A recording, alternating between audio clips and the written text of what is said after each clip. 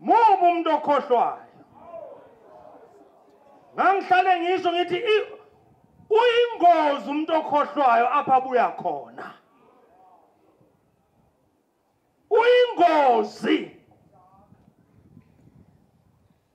Ukufika komzabalazo apha ukufika kwe-amco apha kwezimayini kungekona apha emarikana apho na apho la sifike khona. Impilo yakatata yakamfowethu yaka-anti yakasisi ishintshile. Lokho angeke uze ukuphikise. Ngisho nasekhaya bayakwazi oko.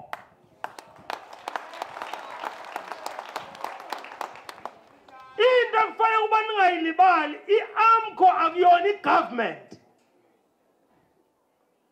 Kunabantu abakhethile wabafaka epalamende okuyibona ezinye zezinto fanele zenziwe yibona ngoba bayazi ukuthi wabafakelana epalamende uma sebakhohliwe imandate yakho ungathathi ulaka lwakho ulethe kwa-amco lise kubo labo abavotela.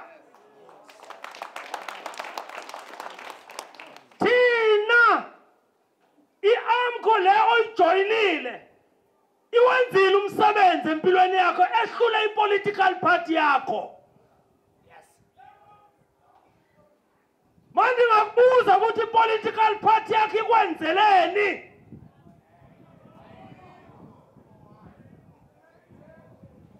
Uma ungathathi i-amco ubheke apho ikuxhole khona ubheke apho la sowukhona ngoku. Uthathe i-political party yakho uyibeke apha. Lana oyithole khona uyibuze ukuthi ibeke kuphi. Akho nto engayikhombisa. Kodwa mina ndingakukhombisa ukuba sikususe kuphi sinawe sesikuphi sinawe ngoku. Izinto ekufanele ukuthi ungazilibali.